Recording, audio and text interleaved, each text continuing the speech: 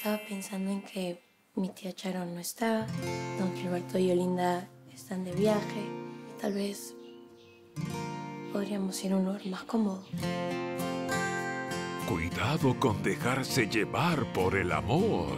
Tere, no pasa nada. En un par de días regresa Don Gil, por favor. Es que no me acostumbro a ver su silla vacía. Yo solo quiero que, que mi papito vuelva sanito. Ay, la dramática. ¡No se va